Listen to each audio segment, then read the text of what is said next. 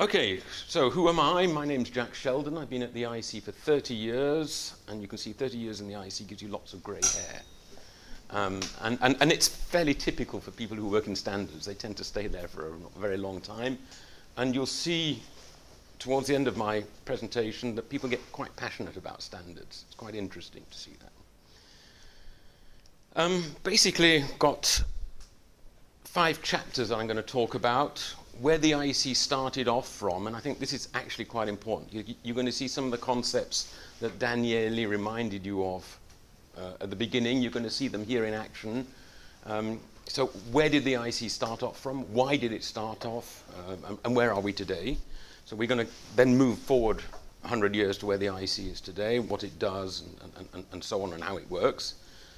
And then I'm going to take a standard. You're actually going to have a look what the inside of a standard is. Don't worry, I'm not going to get too technical because I am not expecting you to understand the techniques of a standard, but you can, you'll be able to see the structure of a rather important standard in the IEC, protection against electric shock, sort of things that you do don't want to have really is electric shocks. How you get involved in standards work, because I think it's important. Standards don't happen. They they're actually, there's a, a, an important process. We talked about this business of uh, openness, uh, participation, consensus. Um, th these aren't just words, these are actually things that happen, really.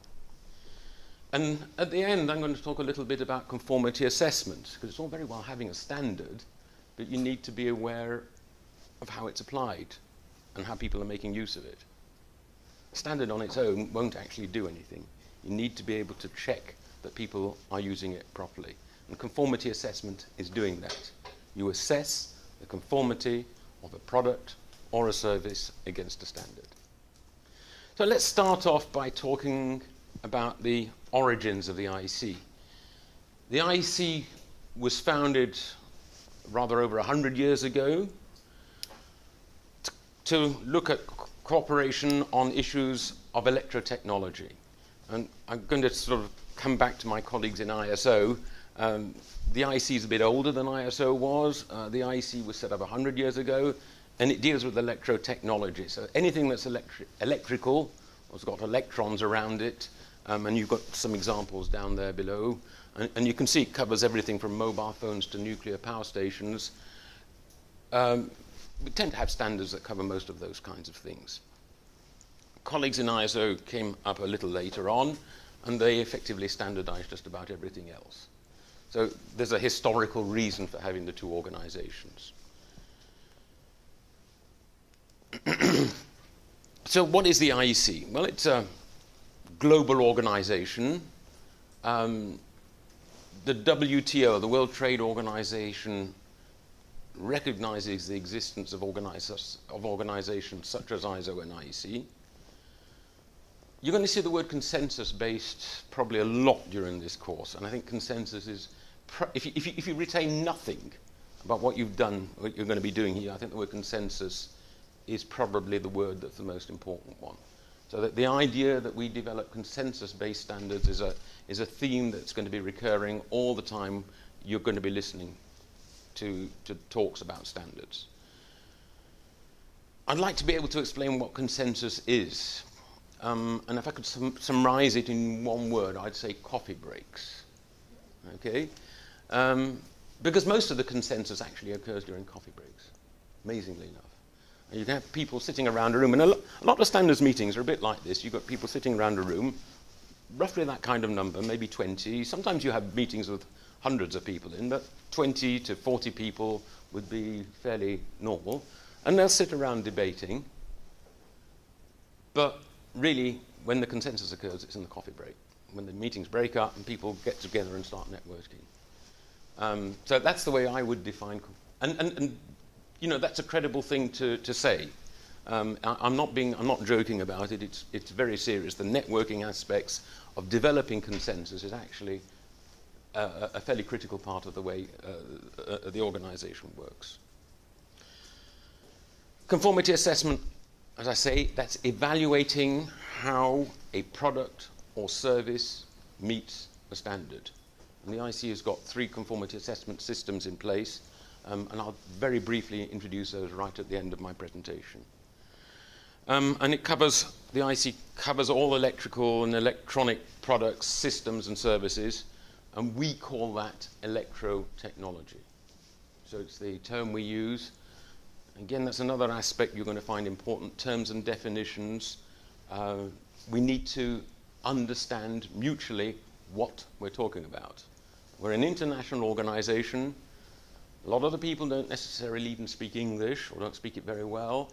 Um, so terms and definitions are a critical aspect of what we do. So electrotechnology, electrical and electronic systems, products and services. So that, that's the definition we use. So let's go back uh, 110 years or so to when a bunch of people got together at the World Fair in St. Louis. So this happened at the World Fair in St. Louis. Um, and a bunch of people, Chamber of Delegates, it's marked on this original document. This is an original document. As you can see, the typescript is a bit funny. Got together to consider the question of the standardization of the nomenclature and ratings of electrical apparatus and machinery. So again, we've got this notion of nomenclature and ratings. Okay, ratings we'll talk about a bit later. But terminology. What do we mean uh, when we're talking about electrical apparatus and machinery. Hist- historically, and, and, this doesn't actually appear here, but you, you, you find it in some of the historical documents. This started off because the English were trying to sell, the British were trying to sell electrical goods, trying to export electrical goods into the United States and wanted to impose their standards on those of the United States. The United States at the time was much smaller than it is today in terms of, econo- uh, of its economy. Okay? Um, and, and the British still had a big empire and all the rest of it. Still, okay? So think of it the other way around from where it is today. And the British were trying effectively to impose what they were doing it, but they were doing it through this Machiavellic system of creating a standards organization. Okay? But the principle actually still holds valid today to standardize nomenclature and ratings. They actually moved very quickly because two years later, uh, they actually set up the organization. So the, the organization came into existence two years later. Um, and right at the beginning, there's something which was said by Lord Balfour, who opened the organization's first meeting. And he said something which is actually perfectly valid today. Um, if you look at those lines that are, that are highlighted in the middle, to describe the qualities of different machines that whilst the man, I'm sorry, it was sexist in those days, whilst the man who buys and the man who sells will know exactly what each respectively is doing, there will be the freest initiative left to both, to the man who designs the machinery. In other words, it's a way of reaching agreement between a buyer and a seller on what you're buying and selling. Okay? And that's actually perfectly true today. There's nothing that's said in there, apart from the rather sexist way of looking at it, uh, th- uh, th- th- that's not true today. If you take that part of it out, still perfectly valid. So that was said 110 years ago. Another key thing that came out in their rules to have the advice of manufacturing interests. It started off as a sort of quasi governmental thing, but there was this push to have industry present as well. Okay? Um, and, and, and that still persists today. Um, I th- and, I th- and I think this is vital. The standards are developed by the people who are making the things that they're standardizing. That, that, that is very, very important. Okay? So it's an agreement amongst the people. I'm going to come back to consensus. You get the consensus of people agreeing amongst themselves on doing things. I think that's one of the big strengths of the standards process is that people agree on it. It's not government dictating to you what's going on. In that sense, it's a very different thing. It's a voluntary system, which has worked very, very, very well, in fact. Okay, well, when the IEC started off, um, its first president was someone very illustrious, Lord Kelvin, the guy whose name is used in measuring temperature today. Um, very illustrious. Um, and we had a, a secretary, a Colonel Crompton, obviously military, um, and the acting secretary was a Mr. Le Maistre. So by the time we got 10 years on, and this was the beginning of the, this was the outbreak of the First World War, uh, these were the standards that had been published by then and agreed at that time. Terms and definitions for electrical machinery. And the electrical machinery was the thing that drove the whole organization right at the beginning. But then there were a whole pile of other things that came on later on. Letter symbols for quantities and units. And again, we're talking about terminology. Um, amps, volts, kilovolts, all terms that mean something to you, even if you don't understand what they are. Um, volts what make you go ouch when you put your finger into a plug, something like that, okay? Um, so, so, these are all important things that need to be agreed between the parties. What is a volt? How do you measure it? Okay. Resistance of copper. Well, copper is still used widely today. It's what you make wire and cables from. Okay, you start making it with glass today as well, but there's still an awful lot of copper, and the only way you can transmit electricity is through copper today. Aluminium as well. Um, the oldest standard in the IEC's catalogue deals with the resistivity of copper. It dates from 1930. So we had the first edition in 1914, and it got revised a few times, and we haven't revised it since about 1930. I don't remember the exact date. And that actually makes sense because the resistivity of copper doesn't change, it's a constant. And again, uh, definitions, terms and definitions. Hydraulic turbines. Hydraulic turbines are, are turbines, machines driven by water to generate electricity. So hydro power uses hydraulic turbines. A lot of the hydropower you find here in Switzerland, for example, there are installations that are 60, 70, 80 years old, and they're still working perfectly well. So we, have got standards that go back, really back to that time already still. And then other electrical rotating machines and turbines. So that, that, that was what the IEC started off. It was heavy. This is big stuff. These are not little things that you can take in your pockets. Big, heavy machinery.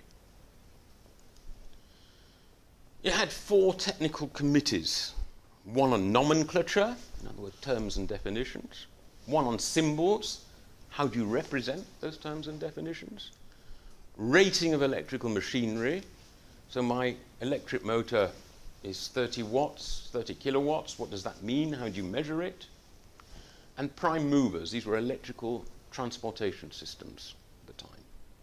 That seems to have disappeared off our radar uh, in more modern times.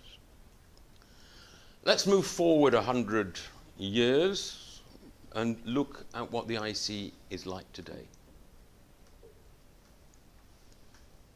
So, the IEC at the end of last year, 170 technical committees, and I'm sorry this slide's got lots of jargon on it, I'll try and explain it to you. So, 170 technical committees. Each of the technical committees looks after a particular domain within the IEC. You saw we have, we, have, we, we have standards on nuclear power stations, on mobile phones. Each of the committees deals with a specific area. Within those committees, you have what we call working groups, project teams, and maintenance teams. That's what the WGs, PTs, and MTs are. So you break up the work into smaller groups. And there's about 1,200 of those. And the total number of experts who actually write the standards, it's not us, it's not me who writes the standards, I can't write a standard. Um, I may be an electrical engineer, but I don't know everything that the IEC does. We have real experts, and you'll hear what a real expert is right at the end. Uh, the number of experts who actually write the standards, about 13,000 of them, spread out all over the world today. They, they literally are spread out all over the world. And I put approximately because actually we don't really know terribly accurately how many we've got because they don't work for us at all. Okay, they work in small committees and these working groups. Um, they're nominated by their countries to participate in those groups. At any time, we've got about 1,500 active projects. These are, these are projects that people are working on, standards that are being written at any one time. The catalogue, the, the number of publications that you can buy today, is just under 7,000. It's probably a bit over that now. And in any, any year, we publish just a bit under 500 standards. Now, some of those are, are revisions of existing standards. Uh, but obviously, a lot of them are new standards dealing with new technology or, or, or whatever. It takes us a bit under three years on average to develop a standard. Okay? Come back to consensus. Consensus doesn't happen just like that, it takes time. The reason it takes three years is because these are consensus standards and not dictated by anyone. And, and you'll talk to anyone who does real standards, and they're going to come up with a number that's somewhere around that ballpark. Okay? Anyone who tells you they can develop a standard in a year is not developing consensus standards. You're then dealing with consortia standards, de facto standards, or things of that kind of nature, where you don't need to develop a full consensus like you have there. So, what sorts of things do we have standards for? Well, electrical safety is an obvious one. And that's probably what, what most people would recognize electrical standards that are covering safety. Home appliances, we've got a whole bunch of things coming in home appliances. All the laptops that you guys have got on your, on your thing, there are a whole bunch of safety standards dealing with laptops. Medical equipment, medical equipment which has got electricity in it, like the scanner you can see on the picture there. There are again lots of standards dealing with the electrical safety of med- electromedical equipment. Consumer electronics. You've got an illustrious person coming next week, if I remember correctly. Wednesday, next Wednesday. Next Wednesday. Um, Mr. MPEG uh, is the way I would des- I describe him. A very good friend of mine, actually. Um, all, you, all you guys have got iPhones and all the rest of it, all the videos, the sound on there. It's due to standards. It works because of standards. Um, and and, and, and uh, Leonardo, who's coming next week, will explain to you the importance of those standards.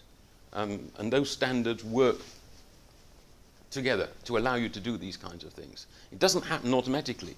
A good standard is one which works in the background that you don't see. Interconnectivity. Oh, yes. Well, that, that is actually the big bane of, of standards organization, trying to get bits to work together. See, most of you have got Macs here on the tables there. Try and get a Mac to talk to anything else. Okay? it's fine when you're in the Mac world, when you're in an Apple world. Perfect. Try and get any Apple product to talk to something else. And that's a choice that Apple have taken. They've taken a, a choice that they want their universe to be their own. Okay? Um, and, and, you're going to find yourself very difficult to buy yourself out of the strategy again, huh? because it's going to be very expensive once you're locked in. Okay? I mean, there are other products that, that, that are the same way. Uh, there are razor, razor blades, okay, that's, that's, one. Printer cartridges is another one as well, okay. Um, you know, th- there are whole piles of products like this as well. But, but again, I, I, I'm, I do not want to get too much involved in this. But interconnectivity is actually a big issue because there, there is a will in some industries to get products to work together. Okay? I mean, I've given you a whole bunch of products that don't work together, but there are actually products that do work together, and there is a will by industry, um, sometimes pushed by consumers, to get the products to work together. Some of the things we are looking at and that are really important for us are things, and I, have used the word smart electrification there. Um, there's a study that was published by the IEA um, the International Energy Agency a few years ago, which, which, which, saw an increasing use of electricity to manage the energy crisis. Electricity has got one huge advantage over other sources of energy, is that you can switch it on and off. It's much more manageable than most other sources of, uh, of, of energy.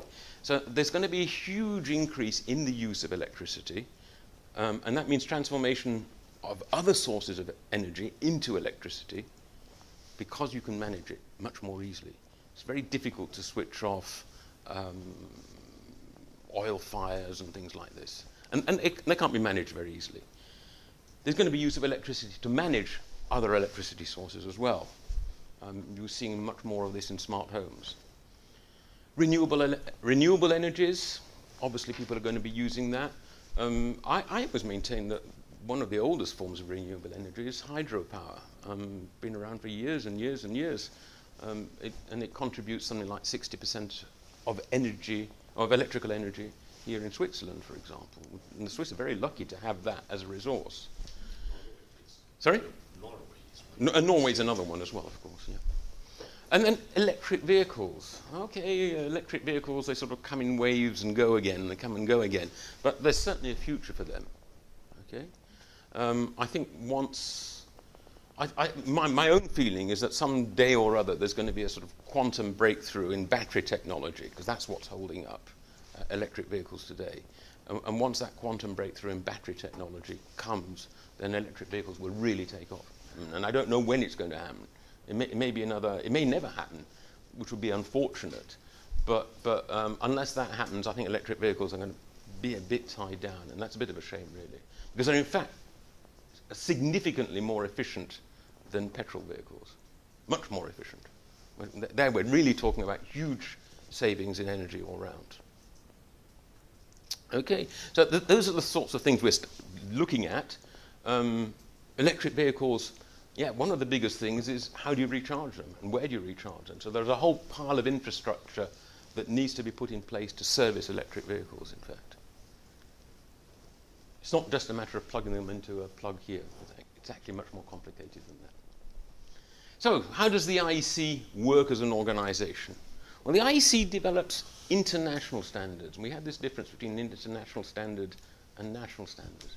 International standards that we develop are actually voluntary. No one is obliged to use them.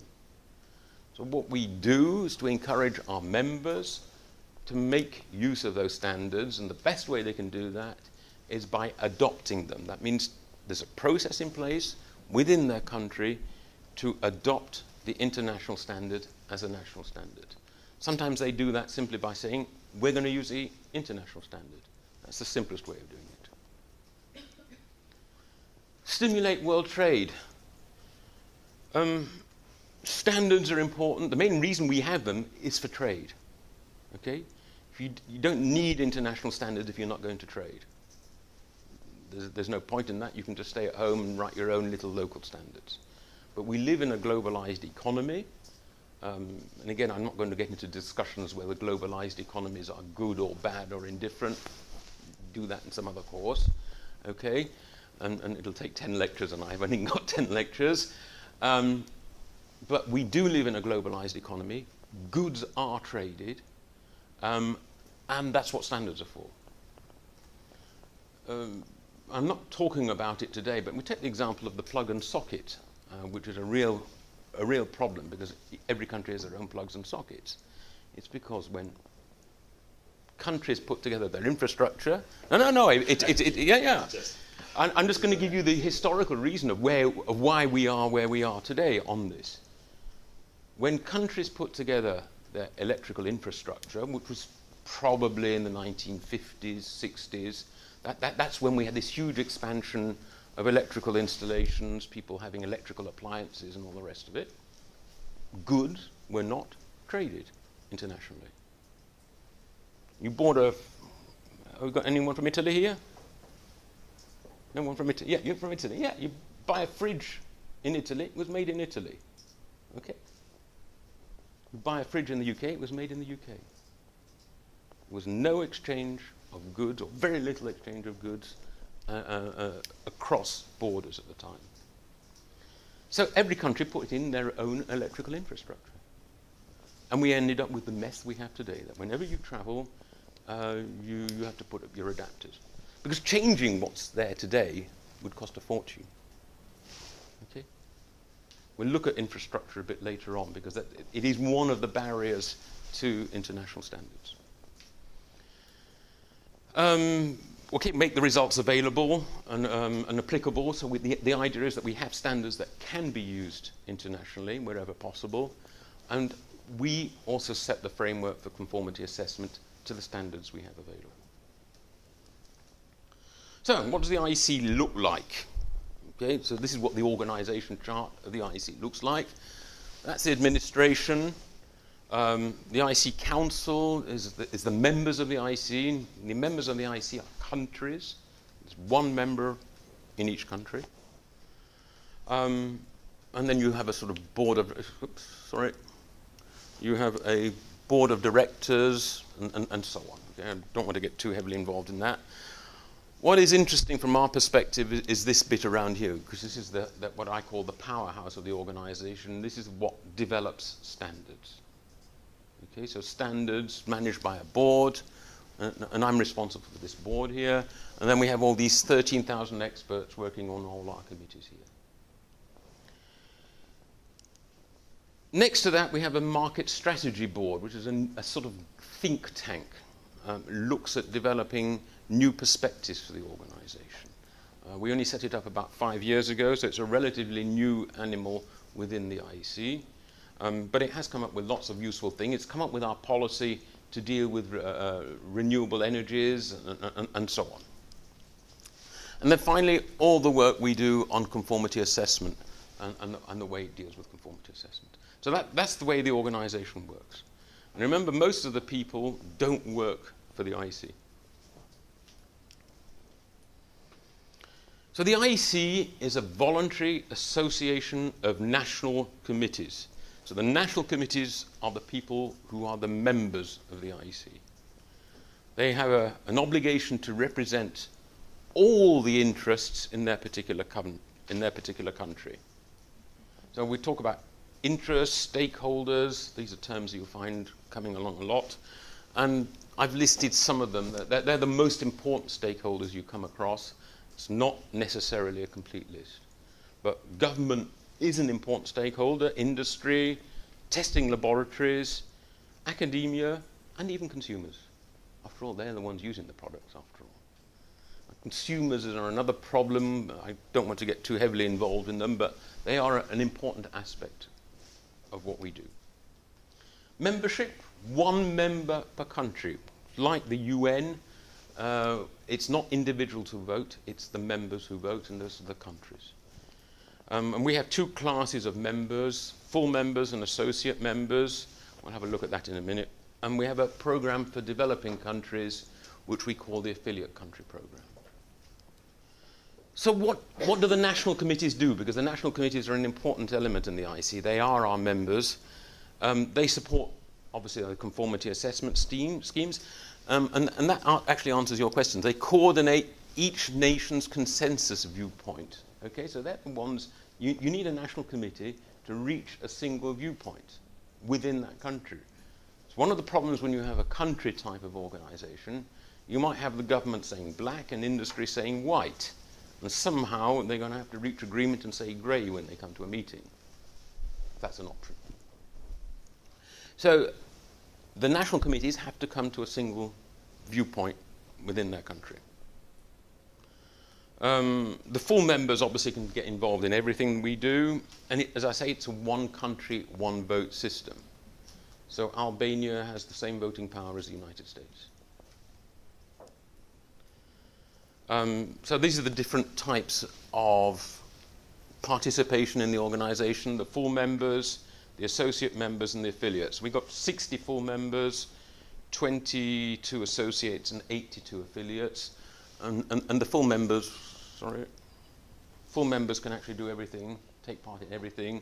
The associates, rather more restricted, and the affiliates can only be informed on what's going on. They can't actually take part in any of the work. So it's an information process. They actually don't pay anything either, so that's. Uh, okay? And that's basically our list of members and associates. Okay, so you can see we cover pretty well all the, the most of the world in one way or another. Okay, the, the, the ones in green are actually associate members. Just a couple of graphs to illustrate the importance of electricity, and you can see it's growing not surprisingly, it's in the affiliates, in other words, in the developing countries, that there's the biggest growth of electrical consumption. Okay, because they started off from much lower down. So um, the growth in developing countries in the use of electricity is much greater than in the developed world. And that, that will continue, of course. We talked about the offices that run the organization. The main office is here in Geneva. Um, I think we're about 85 people at the present time. And we have four other very small offices located around the world. And the first one we set up was in, in it's, it's, actually not in Boston, it's just outside Boston, um, which deals with the North American continent. We, we also have a very small office, just one person in Sao Paulo. Um, we have an office of seven people now in Singapore. And there's also an office we have in Sydney. In fact, in the Sydney office runs one of our conformity assessment schemes. So we do actually have small offices around the world. I guess in total we must be just over 100 people, because uh, there must be about 20 people uh, dealing with all those in all those offices. Okay. And as I say, the sun never sets on the IEC. We always have someone awake somewhere. um, you saw the first slide, we talked about the need to have manufacturing interests included in the IEC. And, and today, the industry focus stays very, very, very important. Um, the people who run our technical committees, about 90% of the officers are actually working from industry. So it's the big multinationals, typically, or big trade associations, which are actually running the technical committees. Um, it responds to needs, to industry needs and it's very much market oriented. We'll do what the industry, we'll develop standards that the industry needs. So market relevance is an important aspect uh, of, of what we do. What is important also is our relationships. We don't live in an isolated world. Um, and, and, we have relationships with a whole pile of organizations, both at the international, the regional level, other organizations, and even with industrial trade associations. So the international level, well, obviously, the one we have to work with most closely is our colleagues in ISO, because they're doing, they're, they're doing something similar to us. In fact, they work very much the same way, um, but they're doing on different types of products and services. Um, the other ones you see there are, in fact, all intergovernmental agencies, the ITU, the ILO, the WHO, IMO, OIML, and BIPM are all intergovernmental agencies. ISO and IEC are non-governmental organizations. Okay. Regional organizations, CENELEC is the European Organization for Electrical Standards. And, and, particularly at the European level, there's an importance to have strong relationship because um, European standards are largely mandatory within Europe. Um, and, and, particularly CENELEC have taken a commitment to make use of international standards wherever they can. Um, other organizations such as IEEE, CIE, and CIGRE. IEEE is a big scientific uh, organization based in the United States, though it does have memberships everywhere. The CIE deals with illumination, CIGRE with power transmission, and then with industrial trade associations as well. So we, we have agreements with the Currently, it says there are 156 organizations. Okay, so of one kind or another, we reach agreements with them. So we don't work in a vacuum at all. So how are standards developed? I don't know if they've had anything about that at all or not. Not yet. Okay, so you'll get. A you, you, this, this year you've been. Uh, I'm the first. Okay. right. Well, you're going to learn a lot more about that. Um, I I'm only going to go, we've only got about two slides on this, I'm afraid, um, but um, it'll give you a background of what happens when you develop a standard. There's a process in place. It's, it's, it's, a, it's a standards development process. The whole notion of process is vital to the, the, the, the concept of standards being accepted. The national committees are our members, and they're the ones who vote on the standards. They don't necessarily develop them, but they're the ones who vote on them once we've written them. For each field of activity, we set up a technical committee. And you saw between the technical committees and subcommittees, we're at about 170 something or other today. There's a six stage process for developing a standard. Okay, so again, I, told, I said how important the standards process, development process is. The new proposal, so within the technical committee, you will have a lot of subjects that need to be dealt with. So the UHV AC will be developing a whole bunch of standards in the future. I don't know how many, it could be 10, 20, 30, 100, or whatever. So they break down their work into projects or proposals. And each of those proposals has to go through these six stages. The, the, the, the, new work proposal. In the working group, you create a working draft. Once the working group has reached agreement on it, the document goes out for a committee draft. The committee draft goes out to all our members to allow them to comment on it. So that there's an open process allowing people to comment on the documents at the committee draft stage. Um, the, the, the, next stage we're getting on is, is, what we call the voting stages, because this is when the document starts going out for vote. The CDV stage, we call it in the IEC, our colleagues in ISO call it something different, but it, it largely does the same thing. We send the document out for vote, and that's the first time it goes out for a vote of any kind. Um, and the document actually has to be approved by a, a two thirds majority of the people voting. From next year, um, I hope, because this is one of our projects, we will in fact be allowing the public to submit comments on those documents as well. The general public. Okay? On the CDV. By that time, the document is supposed to be relatively mature.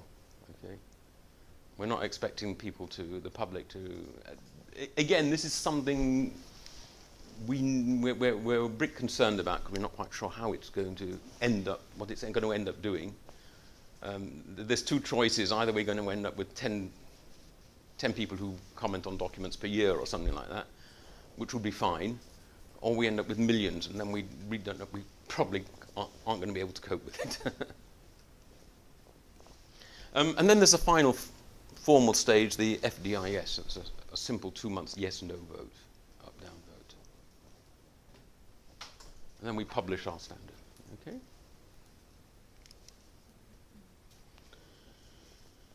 Standards can be for products, services, and processes. We heard that in the definition. Okay? Good standards talk about the how. Talk, not about the how, but about the desired result. So you don't talk about design, you talk about what it's supposed to do. A good standard will specify performance, safety, external characteristics, things such as interoperability. And if you do it properly, there will be many ways of designing a product to respect the requirements of a standard. We don't manage this perfectly, okay? We have got standards which do lay down specifications, particularly when you're talking about plugs and sockets the thing's got to have some mechanical specifications or else it isn't, going to work. Okay? But even there, you should be able to define, design your plug to have the sort of shape, the color, and, and uh, other aspects around it. Okay? But a, a, a good standard does not talk about design. It talks about performance. Performance is, is, is the most important aspect of it. And, and safety is, in fact, a performance characteristic as well.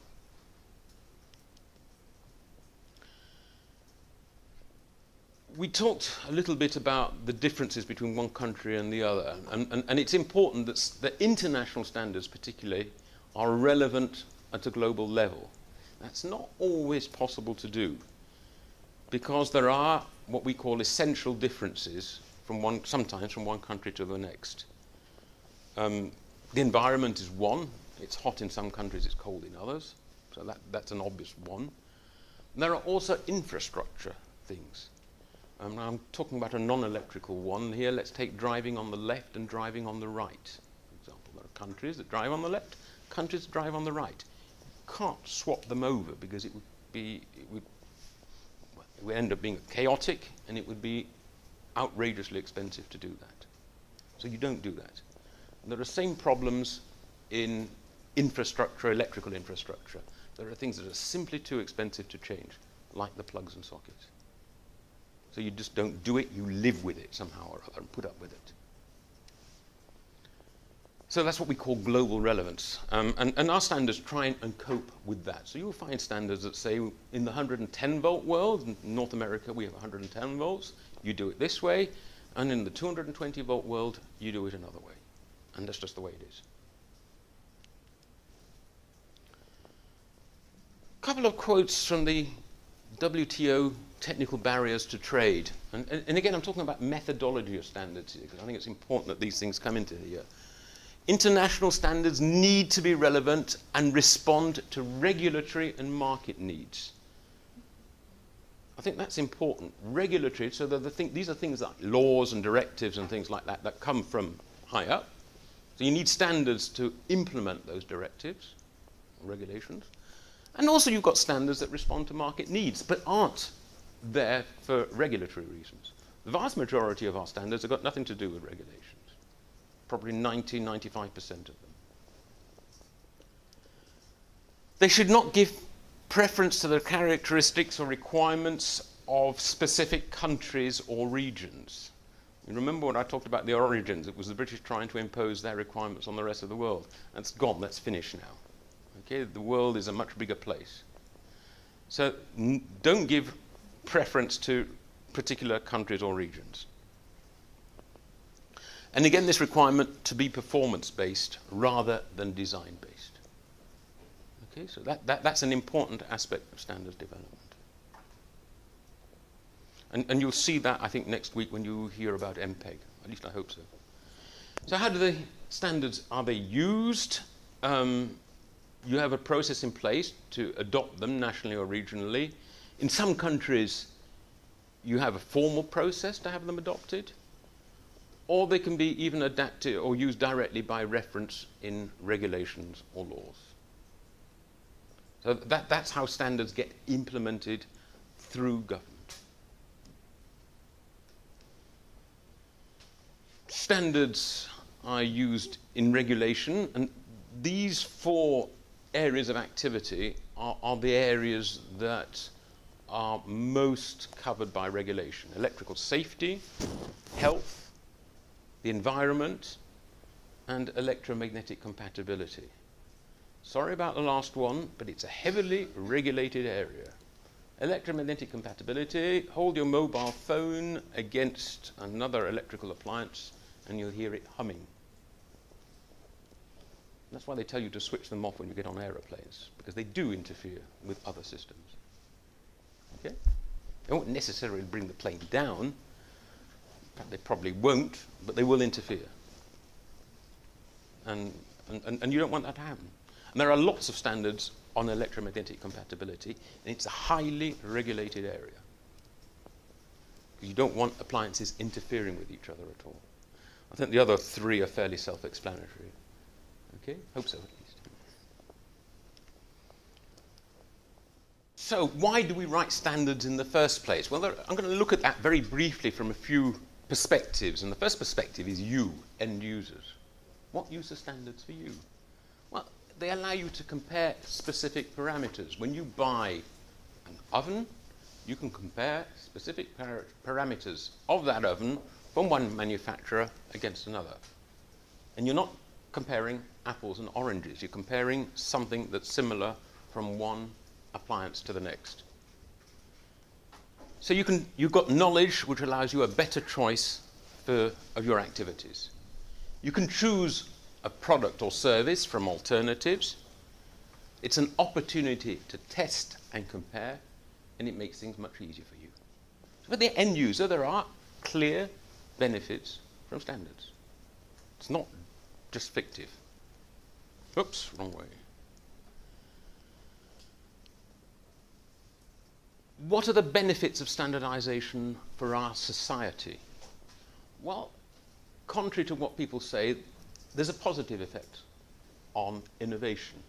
There are some people who, instinctively, you could say that standards would stifle innovation because you're obliging people to produce a product to that standard. Remember what I said, that a good standard allows you to innovate. And on the contrary, it allows you to innovate much more effectively. It has a positive effect on trade, particularly on exports. It promotes intra industry trade, so it means that industries trade with each other. A good standard with interoperability will allow industry to trade with itself. It encourages technology transfer, and that, that is something that's very, very important in the developing world. There have been all sorts of studies on the economic benefits of standardization. I've no doubt Daniele will be talking about that later, but it's reckoned that, that standards contribute about 1% to the GNP of a country. There's a big study in Germany, um, probably the most respectable study, which gave that magic number. Um, and, and, you can see with the increase in standards, increase in world trade as well. I, I don't want to, to delve on this, cause, uh, dwell on this, because I think other people will be talking about it. So now let's move to a real standard. IEC publication 1161 and 140, protection against electric shock. It's what we call a basic safety standard, so it doesn't actually apply to any individual product. But it is, and it does form the basis of the safety requirements for all electrical appliances. So it gives general rules of how you protect appliances from electric shock. So it contains fundamental safety requirements applicable to everyone. Really, it's got two chapters how you provide basic protection, in other words, how do you prevent electric shock occurring in the first place? And there's a whole list here of ways of doing that. Again, I don't want to get too heavily involved in what those ways are. Some of them are fairly obvious if you think about it. Barriers or enclosures. If you can't touch the dangerous part, you're not going to get an electric shock. The barriers or enclosures, that's a very simple way of preventing against electric shock. Placing out of arm's reach. Those of you, if you've got small children, you don't want them touching electrical appliances. Put them high up. Go and look on any, any household with small kids. You'll find mum putting things high up so they don't get in the way.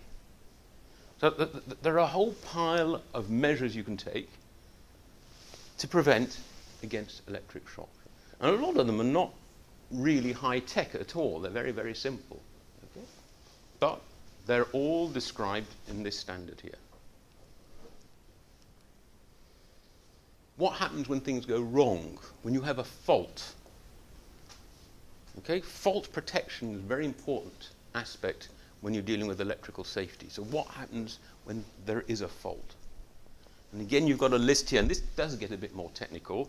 And again, I, am not going to go into what those, what those things are. The standard also contains provisions about what to do or about the sorts of things you should be doing to protect when you have a fault in your appliance. So basically, if you read between the lines of what I've just been saying here, all electrical appliances contain protection against electric shock in the first place. They're designed, you have to design your appliance not to get an electric shock in the first place. They also have to be designed so that if there's a fault in your design, there's a secondary protection there as well. So what happens when there's a fault? And again, one of them is fairly simple, automatic disconnection. Okay. There's a way of disconnecting the electrical supply so you don't get an electric shock. And again, some of these are more technical than others. And that's one of the IEC's most important standards. Okay? Very simple, really. A, a, if, you, if, you, go back to here, a lot of that is very just simple common sense. It's not high tech at all. Okay, another example of a recent IEC standard the universal phone charger. And our friends from Apple, of course, as usual, don't follow the rules. They do everything differently. They're, in fact, the only manufacturer who don't use this charger. Pretty well everyone today, pretty well every single mobile phone that's used today uses the micro USB charger. You can use any charger, basically, to charge a mobile phone, other than iPhones. And this actually rose from consumers who complained about the fact that we were throwing away chargers every time you bought a new, uh, a new mobile phone. You could ask the question, is it really necessary to buy a new mobile phone every year? But okay, that's the way our society lives today. And the secondary question is, do you actually need a, a new charger every time you buy a no, no, mobile phone? Well, the answer is no, you don't. Um, and I think we'll be coming over the next few years uh, to the, the, sale of mobile phones without any chargers. You just buy the charger separately if you need it. Okay? So this is an important, this is, this is an important societal standard uh, in the sense that it will reduce environmental damage one way or another.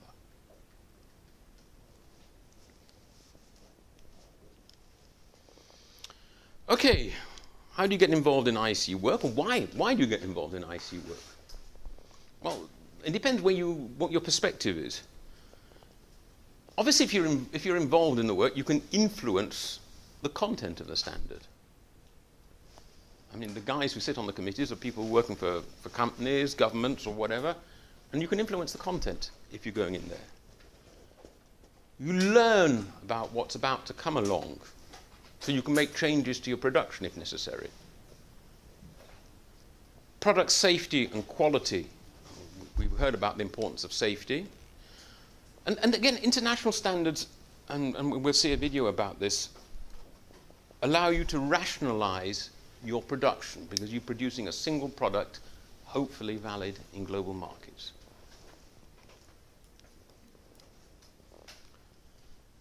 International standards are vital for governments because they're a good source of ways of implementing their laws and regulations.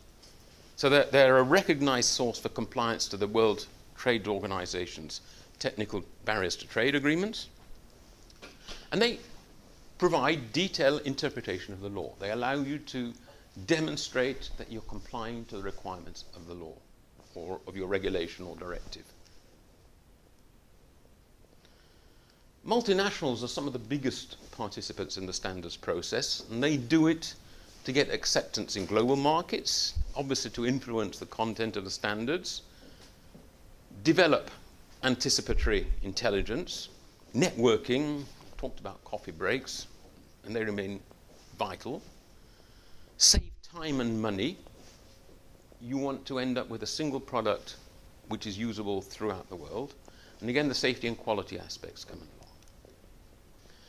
So, important aspect, you get involved through IEC national committees. That's the only way to get involved. As I said, next year we may be allowing the general public to comment on some of our documents, but again, that will be an experiment and it won't be on everything.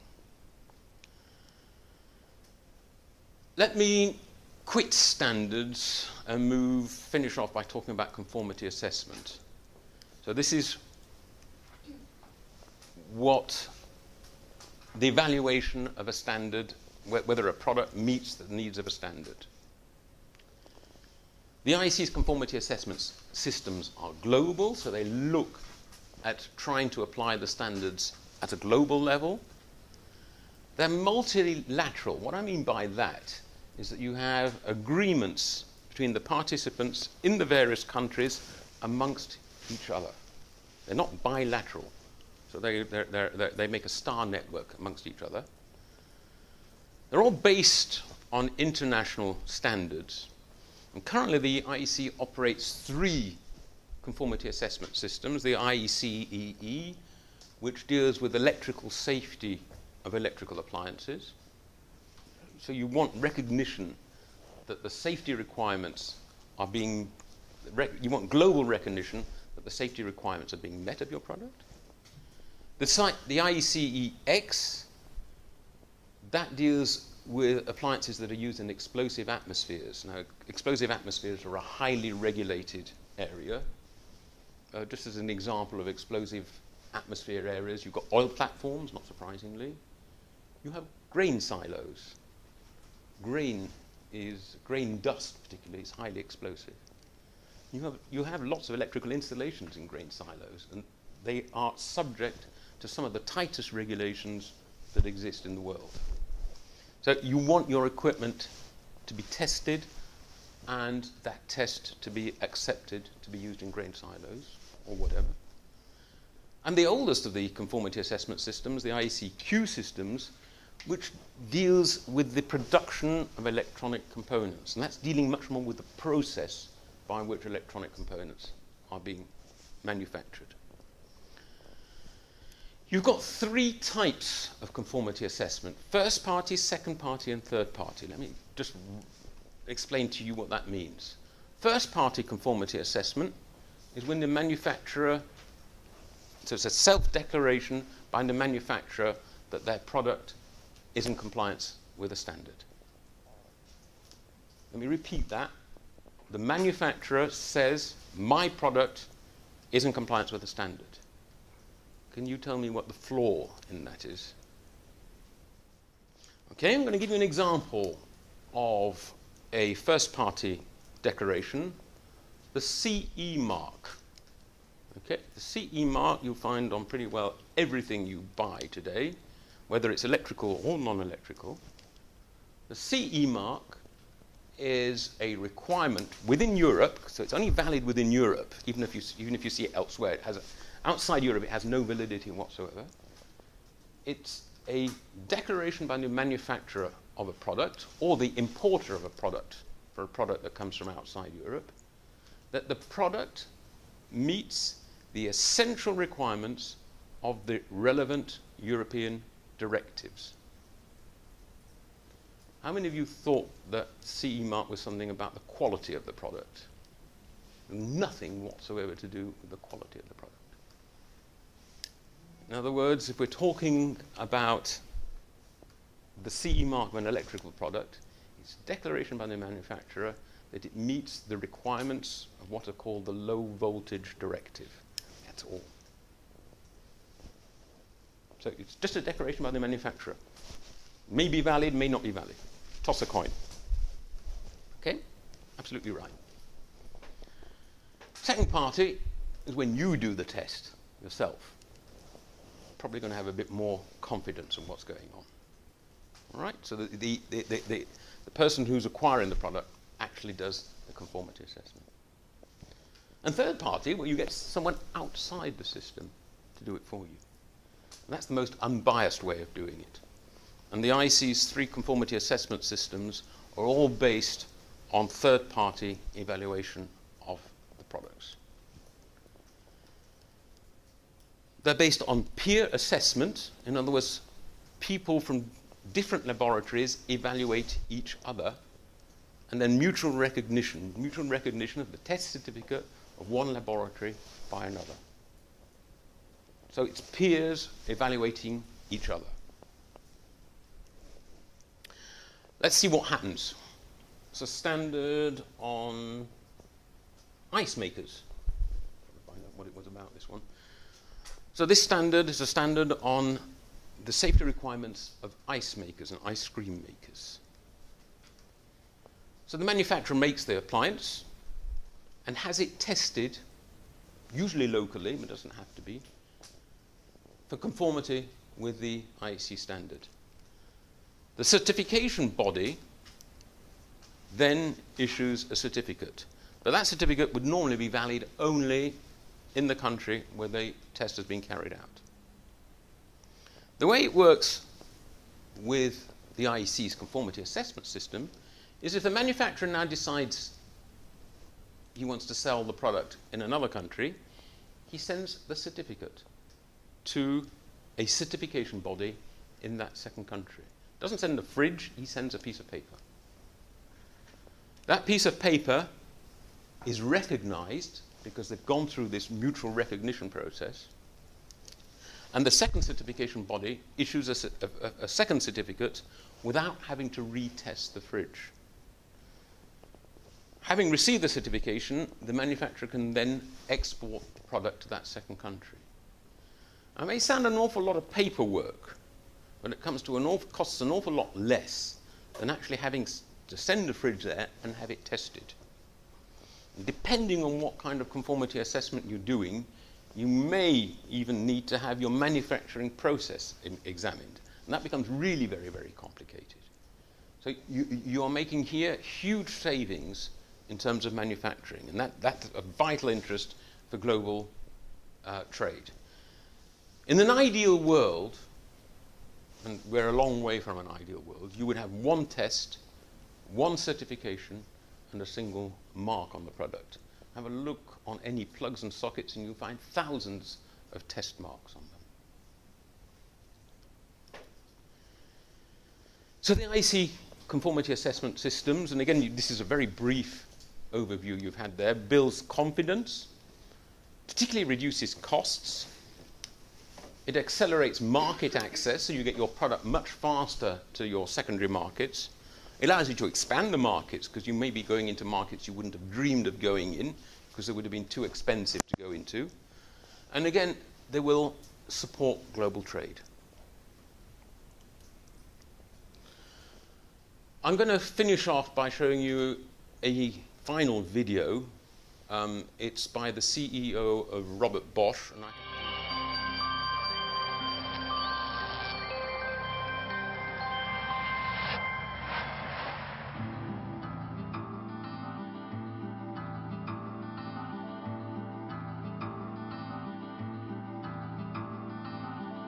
Bosch was a global company before anybody used the word globalization already. We are more than 100 years already in the United States. We were last year 100 years in China, and we are next year 100 years in Japan. We had about 90% sales outside of Germany already in the, in the beginning of the last century. Internationalization is really in our DNA. In, in all our activities, we are never strive to have a short-term profit maximization we always see the need for long-term orientation. We know also clearly that sometimes, uh, for example, in, a, new development of a new system or a new product, it takes time. I would say the, the, business thinking and the social thinking, this balance goes even back to our founder, Robert Bosch. What we have added uh, is the uh, environmental issue. You have to combine this balance, business, social and environmental, also with the principle of sustainability. And this is something Bosch has done for many, many decades already. To have really the sustainability to bring something successful to the market. If you are an international company, as we are, and active in all markets around the world, I think then you realize how important it is to have standardization in the markets. You have to imagine what kind of double work you have to do what kind of additional work and efforts you have to spend to have different standards in the different markets. We are convinced that uh, if we don't have standardization in the different markets, we waste a lot of efforts and a lot of money. So we have to come, first of all, for our own benefit, but I see it also for the benefit of our customers, because they can then be sure that uh, we have to fulfill these international agreed upon standards and they can be sure that they have a real tangible benefit out of it. There are regional and uh, smaller organizations who try to organize something. I think this is totally the wrong way. We should really come to the overall global international standardization organizations, which they really uh, gives the standards and the requirements for all the markets around the world.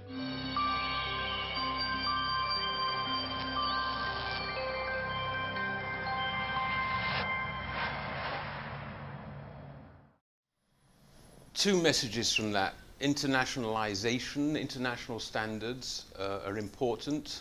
Um, they're the ones that matter to a multinational. Well, that's not totally surprising, I suppose. And the, and the other one, I think, perhaps more important to you, is this issue of long-term The standards don't happen overnight. And that's reflected a bit, I think, also in Mr. Reichel's uh, uh, video, which we saw earlier on. Um, he's in it for the long term. He's not in it just to come here and, and, and go again. Standards take a long time, um, and it's a long-term investment. You won't, you won't get short-term benefits, whether they're monetary or otherwise, out of getting involved in standards. You see that in, as a long-term uh, thing. So I think that, that message came over fairly clearly in, in, in that uh, interview as well. Okay? And I think that is it. Thanks very much. Have you got any other questions?